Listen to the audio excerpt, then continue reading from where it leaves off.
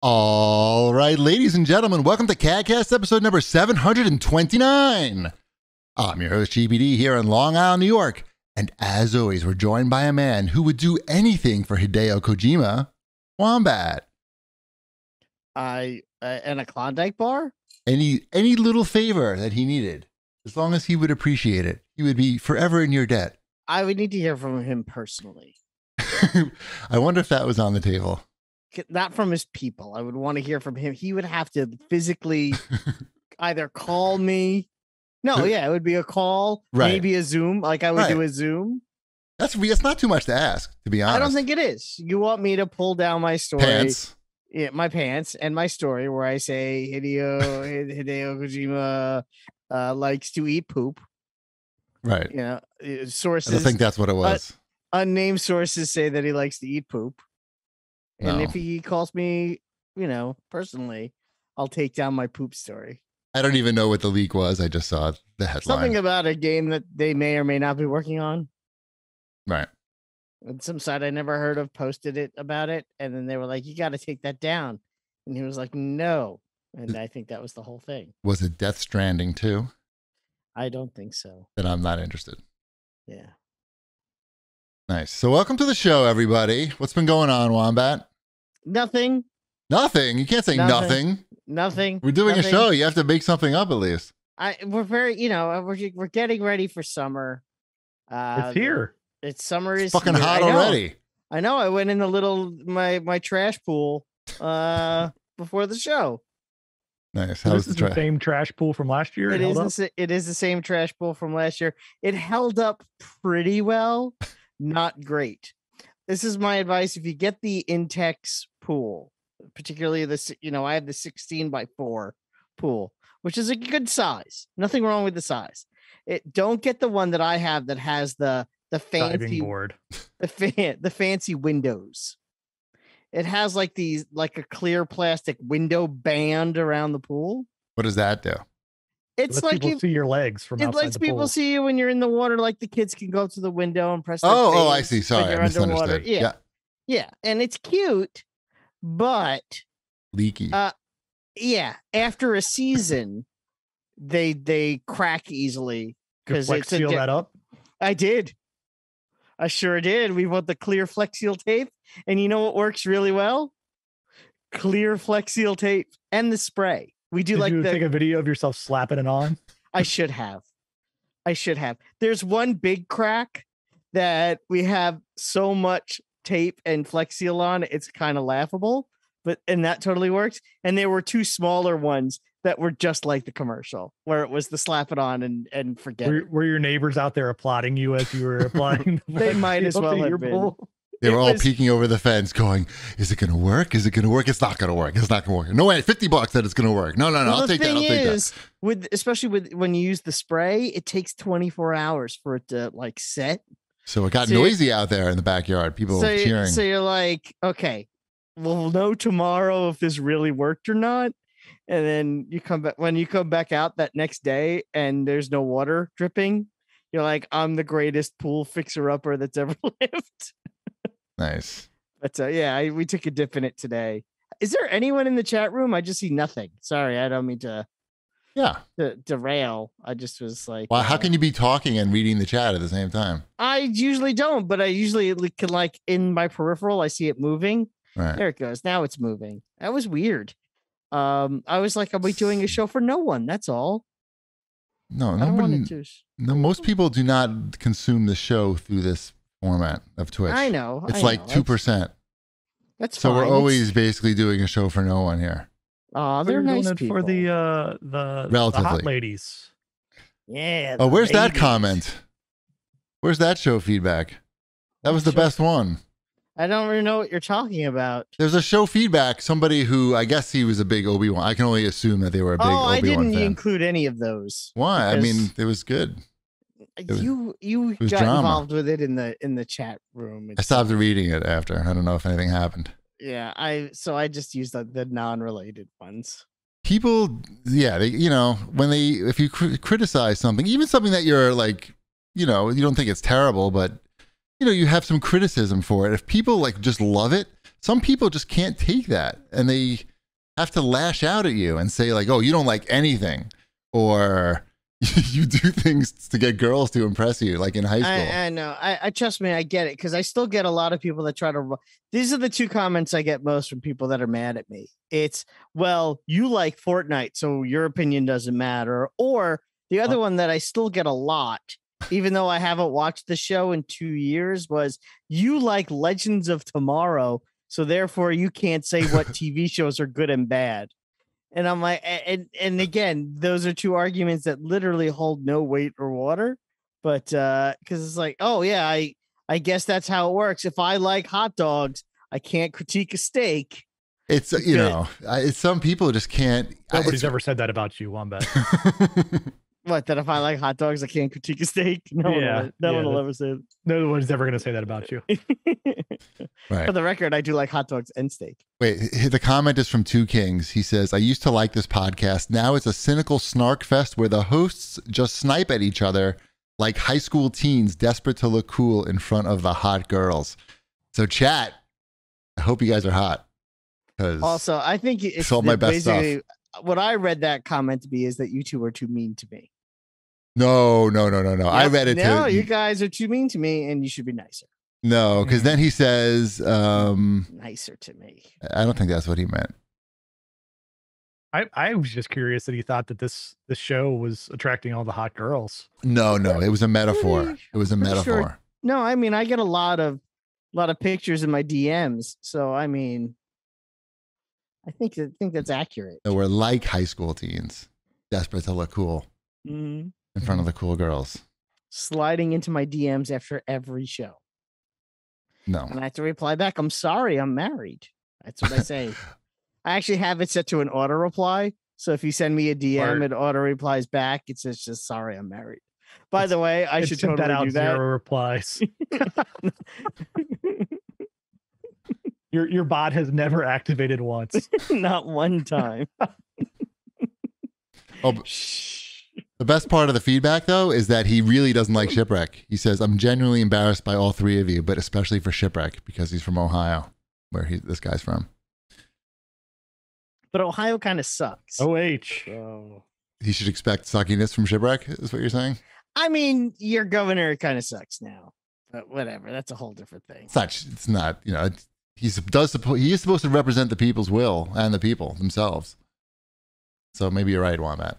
Mhm. So there it is. Maybe onto something. I know that with shipwreck with his his uh U.S. Army propaganda T-shirts and his and his Pac-Man behind him. Right. Yeah, that's all I got. That's what's, that's what's wrong with America I don't know. and our podcast. no, no one should take me seriously. Um, yeah. How about some more show feedback? Sure. This is from Mike the Bassist. Beautiful show as always. I miss bread's done. I thought I said it. Did it get cut off in the record? No, you did set it, but I I took the audio from Twitch and I don't know, it's not really that interesting. Okay. So as long as I did actually say it, that's all. I, I did. I did. I didn't listen to the show, so I don't know.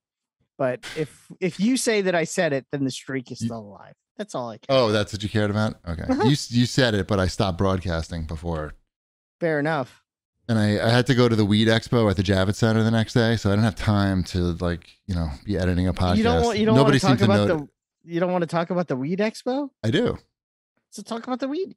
You said what's going on. You could talk about what you're going on. I or- I didn't say I wasn't going to talk about the Weed Expo. I was about to Oh. talk about the Weed Expo. Eh, Would you have preferred an all digital weed expo? No, never. Horrible So- idea. So is it like the food expo where you walk around and they're just giving you free samples at every No, booth? no. This is this is at the Javits Center. Uh, I don't know if you've been. a. I can't believe there's a weed expo at the Javits Center. By the way, it's That's it's a corporate. It's like a business to business type type of of expo. I've been to like a ton of these things. Like I've worked them. I've been just like an attendee. It's just like that, except the booths are all weed related. Like some of them are about packaging. Some of them are about like you know display cases that you would have in your dispensary. Some of them are actual brands of weed that is being grown in you know in uh, Dirt. I forgot uh, in Hudson Valley was one was one booth. Um, I went with Ben Gilbert by the way, who was covering the the the show for his publication, his ex publication now. Um, it was free, and it was free, so I was like, of course I'm gonna go. Um, yeah, it was. So it was basically that. I mean, there were two booths that I saw that I found that were actually selling weed out of maybe like a hundred booths. One of them was like, "Hey, we have these bracelets that you can buy." Now, if you buy one bracelet, we'll give you a free gift of a pre-roll joint. If you buy two bracelets, we'll give you three pre-rolls. Now, if you buy these rolling papers, we'll give you an eighth of weed. Now, if you buy two rolling, it was a whole thing like that, and it was just like, why even go through the ridiculousness of this? Um, and then there was one other booth that was basically just selling it. Like they just had a table and a list of weed, and then you would get, ask them, you know, you tell them what you want, and then they would give it to you. Nice. So was it fun? It was very fun. I would say like the best. I haven't been to the Javits Center before, where it's where it's been that empty, where you just op- open up the door and it's just like there's one person for every like a thousand feet of space, basically. And on the show floor, it was it wasn't you know it wasn't empty, but the mayor. I got to see the mayor speak. The mayor of New York City. The mayor of Weedtown. The mayor of New York City Okay. came and gave like he was the keynote speaker or something. He was scheduled to speak. That's why Ben was there to cover it. Wombat stopped listening already. I'm listening. I'm listening, and it's I have work too. Also, But you're Yes. doing you're doing work now? it, I'm so overwhelmed with work. I haven't slept in like four days. Why- you know, we don't need to do this show. This is just for fun. So it shouldn't be like a situation where you have It's to be okay. doing I'm, work I know during I'm present. You were talking about Ben. Keep going. That's not what I was talking about. What was I talking about? Who was I listening? Who did I was I listening to speak? You were listening to someone speak. It was great. Right. Mhm. Mayor, the mayor of New York City. You might have heard of him. Oh, okay. He sucks though. Doesn't he kind of suck? He really sucks. He was supposed to speak for 15 minutes. He spoke for like four. The first thing he said when he got on mic is like, I'm really disappointed that this room doesn't smell like weed. I was expecting it to just, I was going to come in and it was just going to be smoke and smell like weed. And, and I'm very disappointed. And he said a bunch of bullshit for like a minute. And then by finishing, he said, All right, guys, everyone light one up for me. You know, obviously you're not supposed to be smoking in the fucking convention center, but he's like, all right, light one up. And then just like, you know, walked down the aisle. And as people were waiting for the next beer to get, to get, to get up there, some guy was just like shrugged his shoulders and had like a big joint in his mouth and just lit, just, you know, the mayor said he was disappointed. It didn't smell like weed and to light one up. So the guy did. Anyway, the key thing takeaway is if you can go to the a weed expo for free, I would recommend it, All right. especially with Ben Gilbert. I was not invited, so you know what can you do? I didn't find out you two were there until you sent a text saying, "Hey, look where we are." Otherwise, maybe I would have taken the train in and met you. At You don't have a job? I could take an, an afternoon off. Uh, you just told me you were in swamped. You're fucking looking at your work right now. I This know, was I wouldn't have been Friday. What are you do it. talking about? The invitation would have been nice. Yeah, well, It wasn't you mine could've to- invited to me make. too. I don't I know. mean, you could at least have invited me, so I could have said no. I'm sorry, I'm too busy at work. yeah, Like, uh, Yeah. it wasn't you, my get, did you at least get to. Wombat a present or something? No, I don't want presents. I want presents. You want weed? No, uh, no, I don't want a present. Oh, I want- I want your presence, Yeah. not your presence. I'm, yeah, I don't know about that. Anyway, any that's the weed. So that's the uh, the weed expo. They have a very nice park across the street where you can smoke weed too, nice. and they even have a smoking section in the park. Last time I was in the Javits Center was probably the car show in 2014. It's not, it's not like that. It's so empty. That's Like, so weird. compared to that. Like it's just, yeah, it's great. It was nice. It was very breezy in there. I felt like COVID was just blowing right by me. So it was good. hmm Uh, any other show feedback? Uh, well, according to a, a asparagus pea smell, after we had talked about my incident where the can of seltzer flew out of a box into my elbow whilst we were in a car that stopped short. As Wombat has discovered, SUVs are much more dangerous than a normal car. They are classified as trucks and don't meet the same safety standards. The statistics around them are shocking. You are twice as likely to kill someone or be killed yourself while driving one Considering the horror, horrific environmental impact, these vehicles are a monstrous obscenity, which should immediately be banned, and the people that manufacture them charged with crimes against life kind. This comment went someplace. I don't even know what that means. And there we Life kind? I don't think that's a word. I don't think that's a word either. I mean, I don't. I agree know. with him though, except for the part with the crimes against life kind. Yeah, I, I'm. The SUV comes in very handy for us because we have a lot of crap that we have to bring around to places. But There's also a thing called a hatchback, which was a pretty good invention back in the day. well, that's what my car is. the The EcoSport is more hatchbacky than the uh Right. Yeah than the Explorer, which is more SUV. I also had someone said to me I should spend the extra twenty dollars and just get get a net. We actually do have the net, but the net is for the back of the SUV. So when you open that back door, things don't roll out. There is no net for the other side of There the is. They have hooks. You don't have hooks? No, What kind of SUV is this? this is a Ford Explorer. There's no hook for the other side. There's a hook for the door side. There are hooks that you could put the net up so things don't roll out. There's open the back door. There isn't. There are hooks. There is no back. There is no like. Would that be a front net or because the, the back net would be all the way in the back? Mid net. There is no mid net option for the Explorer. for the for the Subarus, you have a net that goes. You can buy a net that goes up in the back, like you're talking about, but then it also has a secondary direction where the cargo net straps down so that you can you can up near the third row of seats, so you can hold stuff down. I don't know. I'll have to look into it. I don't think there is, but whatever. How are, can you not put car seats in a Ford Explorer? I don't know. I've never. I've never attempted to put. Don't they car have the seat in net? there. You're talking about the ship. You're talking about the net that goes on like from the top down, right? Like the four corners net. There's there's several different options. That's what I So have there- in my there's car. a there's a a sliding cover that kind of fits down and just covers up the top. Then you have a net that you can come up from the backside, like Wombat's talking about. right. Then it also goes along like the Top. the floor of the back, and you can just strap stuff down hmm. to it. You strap stuff underneath it. Oh, you're okay. That's a different type. I'm talking about like putting a net up like that hangs down behind the back seats. That thing does not. That does not exist. If you're saying there's something I could like put as like a drape over to hold things in place, I have not looked into that. You should look into it. Okay, I will look into that. The drape over style, but I don't think I don't. I'll have to look. To I, see where I that feel would- like uh, asparagus piece smells uh, stats might be handpicked here. I agree with his general sentiment. I don't know about you know the the factual nature of it, but I agree with his general feelings.